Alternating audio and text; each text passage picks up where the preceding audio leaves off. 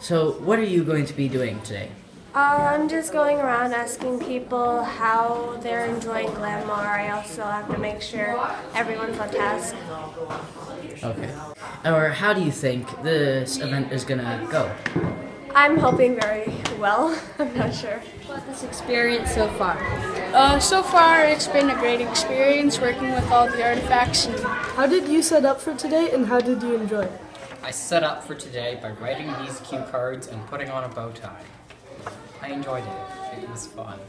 Well, first, um, I was kind of nervous about what the turnout would be and that like we wouldn't know any information. But now I'm like super excited because um, it's so much fun and we get to meet a whole bunch of people. how does it feel being entrusted with the responsibility of running the gift shop?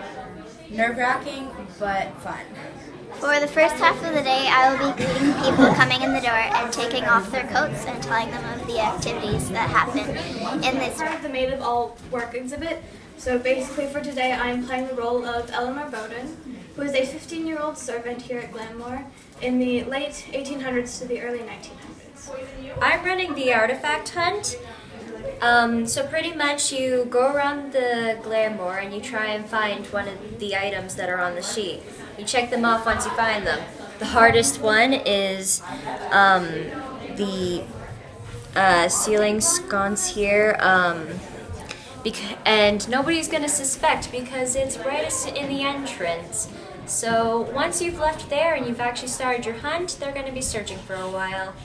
Um, it is fun, honestly. I love all the art personally, the and the culture, and just talking with everybody about it.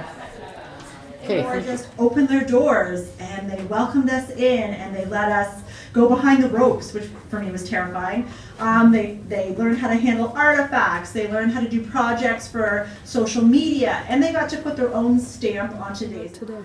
I think my favorite thing about today was actually watching all of you guys come together and work together so well and make it such a huge success just by being you guys and doing the research and uh, working as a team. I was really impressed, and I think that was my favorite part of the day.